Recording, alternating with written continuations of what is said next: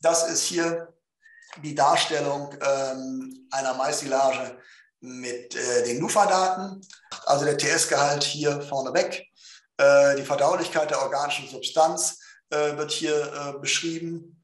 Auch hier äh, werden verschiedene Formen sozusagen zu verschiedenen Zeitpunkten nochmal abgetragen. Was wir hier wiederfinden, ist dieser ANDFOM, wie wir ihn auch in der CNCPS-Analyse, also sprich nach dem amerikanischen Fasermodell wiederfinden.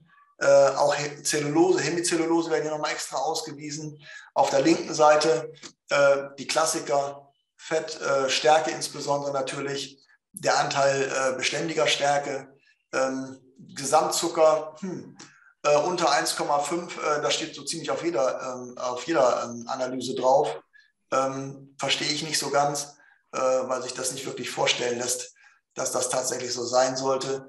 Enzymlöslichkeit der organischen Substanz, das geht so ein bisschen in die gleiche Richtung äh, wie ähm, praktisch die Gasbildung, sprich wir haben hier letzten Endes äh, einen Verdaulichkeitsparameter.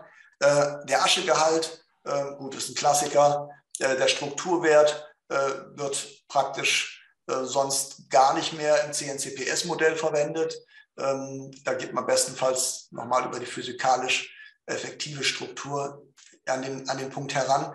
Hier haben wir eine 6,9 NEL. Ein NXP-Wert wird man auf äh, einer Rockriber-Analyse vergeblich suchen.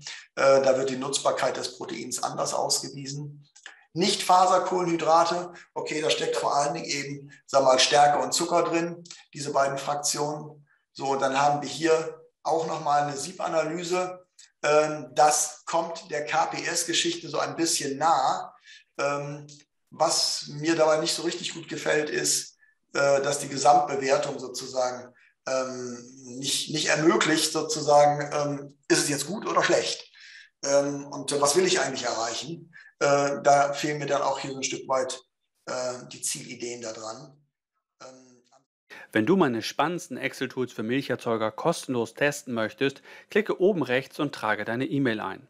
Unten rechts erfährst du mehr über meine neue Milchviehberatung und unten links siehst du noch mehr Videos für Milcherzeuger. Bis dann, dein Rainer Möller.